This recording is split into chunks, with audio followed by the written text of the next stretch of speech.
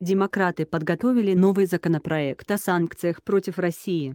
Демократы подготовили новый законопроект о санкциях против России 18 часов. AP photo, J. Scott Applewhite. Конгресса США в Вашингтоне. AP photo, J. Scott Applewhite. Здание Конгресса США в Вашингтоне. Архивное фото Вашингтон, 21 июня Новости. Конгрессмены от Демократической партии США вновь предложили ввести санкции против суверенного долга, банков и СПГ проектов России, сообщает агентство Bloomberg. С инициативой выступила группа демократов-центристов, известная под названием «Синие собаки».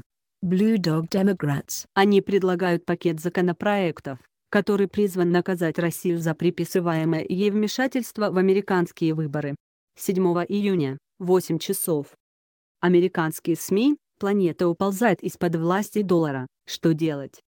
Помимо санкций, предлагается использовать для преследования вмешательства в выборы уже существующие законы, повысить прозрачность политической рекламы и потребовать от всех штатов использовать при голосовании бумажные бюллетени.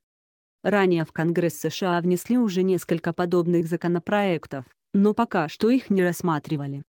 Практически сразу после президентских выборов 2016 года, на которых победил Дональд Трамп, американские спецслужбы обвинили Россию во вмешательстве в ход голосования, а новоизбранного президента в сговоре с Москвой. И в Кремле, и в Белом доме все эти обвинения отвергли. Спецпрокурор Роберт Мюллер в течение двух лет вел расследование по этому поводу.